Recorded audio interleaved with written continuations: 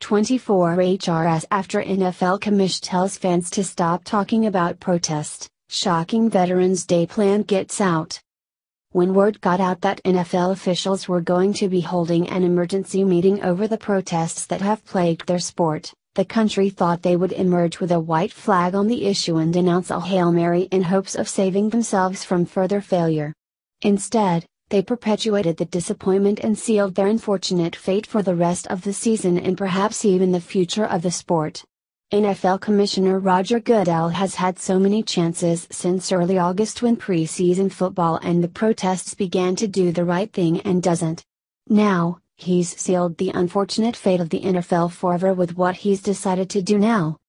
Despite the NFL and NFLPA calling it a productive meeting, it was only productive in making matters worse for their industry when it didn't seem like that couldn't be possible.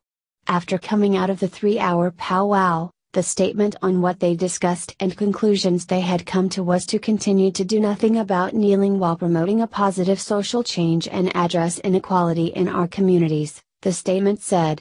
This announcement was followed up with another detrimental statement to the sport when Goodell came out on Wednesday to say that protests are here to stay and that he's basically sick of hearing about it and wants to get back to football.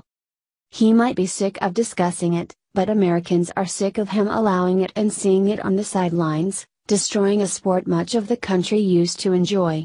He can't get back to football, but furious fans are planning to meet him on the field for the most important weekend of the year that doesn't go well with what these kneeling athletes are doing. The disrespectful antics are not going to be allowed to take place on Veterans Day weekend if a certain group of patriots have a say in the matter. They're making sure they do and that their voice is here loud and clear with what they have planned for this special patriotic weekend. Breitbart reports. Main Street Patriots are rallying fellow citizens to show their support across the United States for the American flag and the national anthem on Veterans Day weekend as a way to send a message about the importance of standing and saluting during the playing of the national anthem at NFL football games. The conservative group is encouraging Americans to join their Flags Across America movement next month. I have watched professional football since the time there were two separate leagues. AFL and NFL in the late 60s, Debbie Dooley, co founder of the group, told Breitbart News. Sports has always been an arena where we are united in support of our favorite teams. We are not Democrats or Republicans, we are simply fans, Dooley said, adding that the NFL players are seeking to change that by attempting to shove their political views down the throats of fans. Dooley is hoping people will fly flags everywhere over the weekend and on Veterans Day, even if it's not in an NFL stadium. I urge patriotic Americans to exercise their First Amendment rights and boycott the NFL and their sponsors, Dooley said.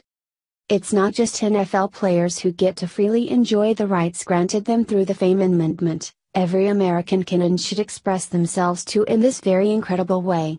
If this massive show of flag and the message represented with it is offensive to those kneeling, then maybe it's time they find a safe space in another country that doesn't expect the same respect for old glory. Flags across America symbolizes Americans coming together and showing respect and honor to our nation's flag and the freedom and liberty it symbolizes to the world, co-founder Ralph King said, Breitbart reported. It is also to honor the veterans that fought and died so we can maintain that freedom and liberty. The U.S. flag and the freedom for which it stands, at levels never before witnessed in our country, is under constant attack from the left and now pampered sports figures, King said. We cannot allow these attacks to go unanswered.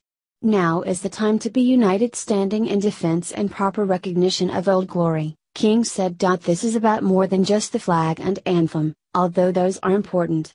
Sports stars used to be heroes and role models. When the NFL and other sports began lowering their standards for character, all the other problems followed. These protests are more about the message players supposedly started taking a knee for. It's metastasized into something else entirely that's a cancer on society. Sports stars used to be heroes and role models, but when the NFL and other sports began lowering their standards for character, all the other problems followed. If you're boycotting, this is the one weekend to get involved for long enough to send a message back to the players and the league with a big visual that can be ignored. The protest is bigger than theirs, than theirs.